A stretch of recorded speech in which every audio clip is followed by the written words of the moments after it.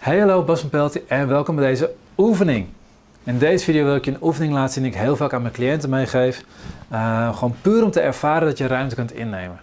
Dit is een, een van de oefeningen die we gebruiken in de AAS-methode. Ik kreeg van de week nog een heel mooi berichtje van uh, Jessica, een van de andere AAS-methode-therapeuten, over hoe zij met een cliënt van haar gebruikt had. En hoe die persoon voor het eerst echt kon voelen dat, hij volledige ruimte innam. Dat hij super relaxed werd. Gewoon puur één oefeningetje, waarbij je alleen visualiseert op ruimte in te nemen. Hoe hij echt voelde, hoe hij meer ontspannen werd en, en lekkerder in, zijn vel ging zitten. Het gaaf is, als je naast je cliënt staat, zie je hem vaak ook ineens veel rechterop gaan staan. Schouders naar achter gaan, echt ruimte, letterlijk in zijn lichaam ook innemen. Het is een hele simpele oefening. Ik ken hem vanuit de Alexander-techniek. De Alexander-techniek is een techniek die is ontwikkeld door, um, door een toneelspeler.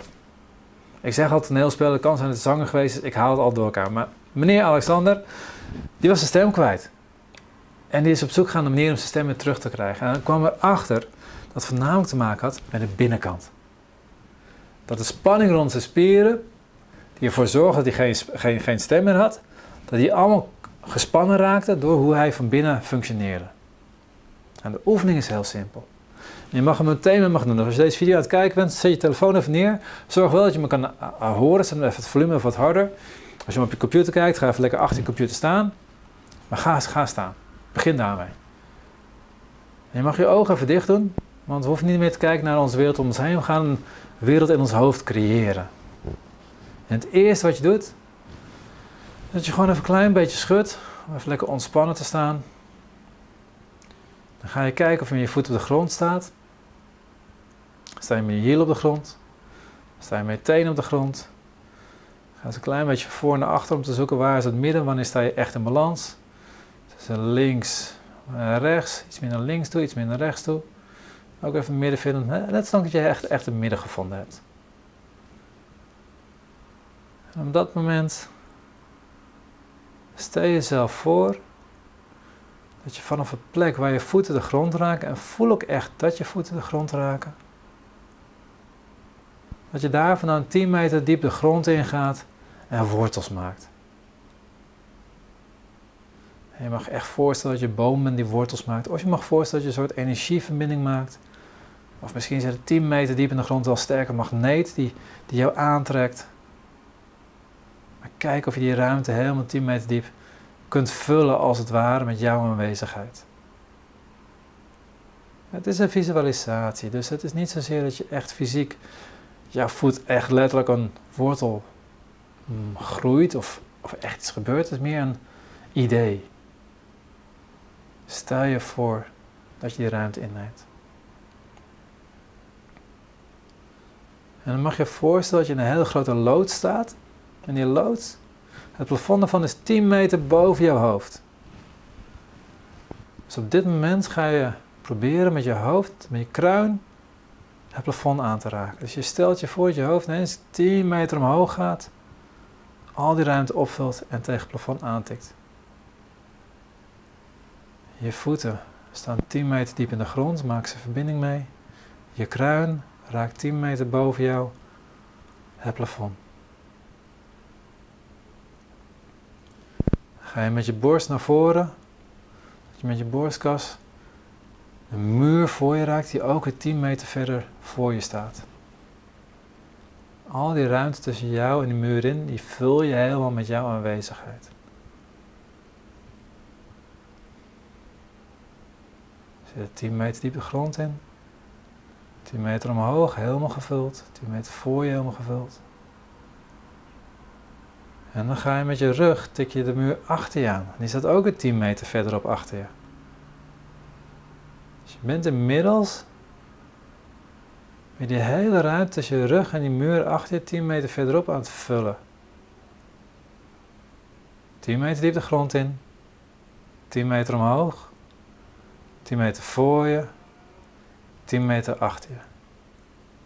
En je hoeft niks te doen. Je kan fysiek ook niks doen. Hoeft alleen maar voor te stellen dat je ruimte vult. 10 meter diep, 10 meter omhoog, 10 meter voor je, 10 meter achter je. En dan gaat je linker schouder tikt ook net zachtjes de muur aan, 10 meter links van je. Je rechtschouder tikt net de muur aan, zachtjes, 10 meter rechts van je. En stel je voor dat je al die ruimte aan het vullen bent. Dus jij zit in een gigantische loods. 10 meter voor je, 10 meter achter je, 10 meter links, 10 meter rechts, 10 meter boven je. En daar sta je. En je voeten zitten diep in de grond. Met je hoofd, met je kruin van je hoofd raak je plafond aan. Met je borstkas raak je de muur voor je aan. Met je rug raak je de muur achter je aan. Je linker schouder raakt de muur links van je. En rechter schouder raakt de muur rechts van je. Alle kanten op neem je 10 meter ruimte in. Je mag even opmerken hoe het voelt voor je. Wat merk je in je lichaam? Spanning, ontspanning? Hoe is je hartslag? Hoe staan je schouders? Heel vaak bij cliënten zie is dat die schouders vanzelf meer naar achter gaan. Niet omdat je ze naar achter trekt, maar omdat je gewoon ruimte inneemt. Ik zie mensen altijd rechterop gaan staan. Net zoals kinderen staan, kleine kinderen staan heel erg rechtop. Zonder dat het aangeleerd is, zonder dat ze heel veel spanning aan het creëren zijn. Als tegen iemand zegt, ga rechtop zitten, gaan ze altijd heel erg hun best doen. Doe je helemaal niet. Je gaat helemaal niet rechtop staan. Nee. Je gaat gewoon die ruimte vullen. Je kruin zit tegen plafond en automatisch strekt je werfkolom zich. Maar je bent niet bezig met je werfkolom. Je bent gewoon ruimte aan het vullen. Vaak wordt je stem ook wat dieper, wat luider. Meer ruimte, meer resonantie in je borstkas komt erin, waardoor meer ruimte voor je stem ontstaat. Ben je je best aan het doen om meer, om harder te praten? Nee. Je stelt je gewoon voor dat je al die ruimte inneemt. Hoe voelt dit? En geniet er even van. Vooral dat ook, geniet er even van. Hoe lekker is het om al deze ruimte in te nemen. En hoe lang je die ruimte inneemt, hoe meer je lichaam zich ernaar gaat vormen ook. Hoe makkelijker het wordt om ontspannen te zijn in die, al die ruimte.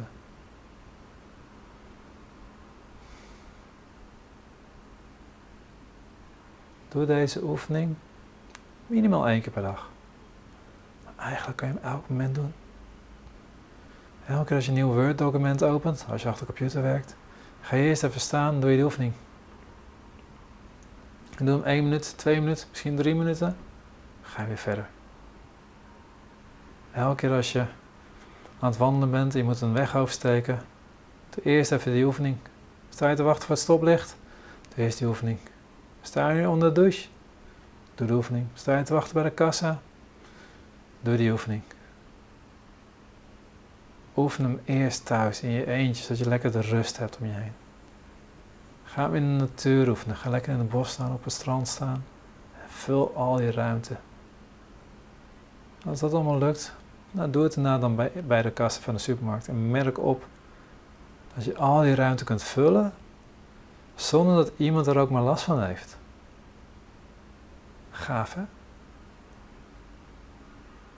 Doe hem met mij op de achtergrond. Kom vaker terug naar deze YouTube video. Of doe hem gewoon lekker zelf vanuit je eigen herinnering. 10 meter naar de grond.